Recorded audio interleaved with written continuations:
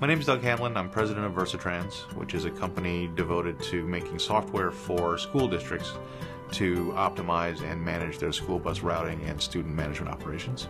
I started with the company in 1983 as a software developer. I grew from software developer to project manager to training specialist to uh, executive management over a period of 15 to 20 years. You know, what the, the things that are, I focus most on are integrity and, and meaningful attention to core values and beliefs. If you've got a focus on integrity and values, you're going to sleep well at night and and serve your customers and your, and your employees as best you can. And I generally lead from a position of optimism. Uh, having dealt with some challenges over the years, I think it allows me to put things into perspective for people that if someone thinks XYZ is a huge problem, I may be able to help them understand that it's not as big a problem as they might think it is.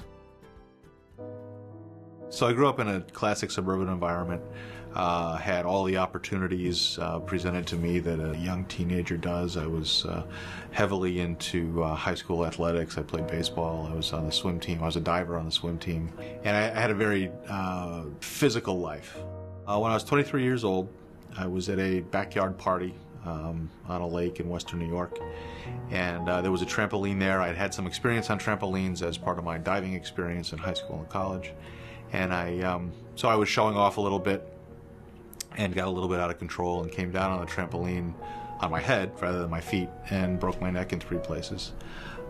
I knew the second I hit the trampoline that I wasn't going to walk again.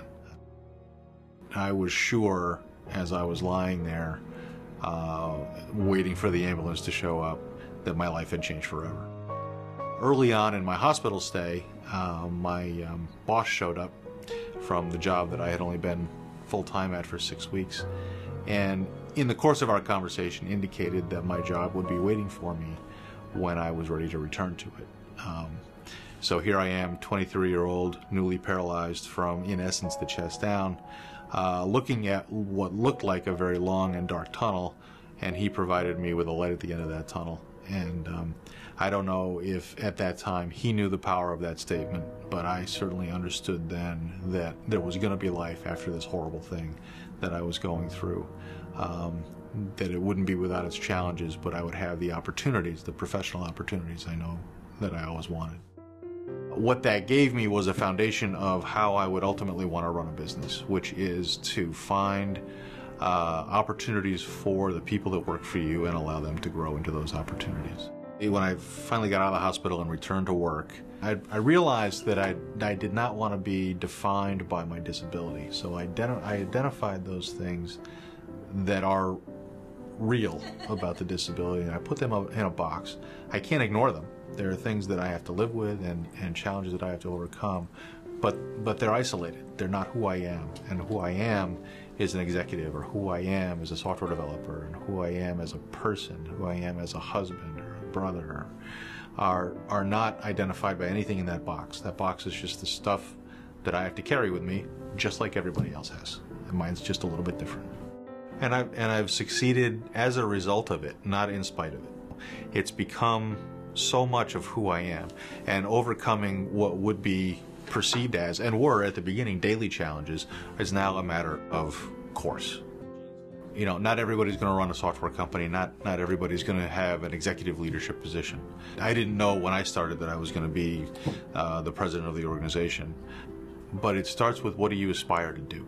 It, as soon as you say that's it, I'm done. That's as far as I can go. That's it. You're done. That's as far as you're going to go. You've always got to find that next level if I can take satisfaction in anything related to the injury, the disability, it's that I've achieved what I've achieved, and and I can use that to help others do the same thing. Whether it's speaking to a group of high school students or a group of young professionals, I can help them understand that, that the world is really theirs for the taking if they approach it with the attitude that they're going to grow every step of the way, regardless of the challenges they have in front of them. And there might be physical challenges, there might be some other kind of challenge. That um, their, their opportunities really are what they want to make of them, and and that success can be had by anybody who really wants to find it.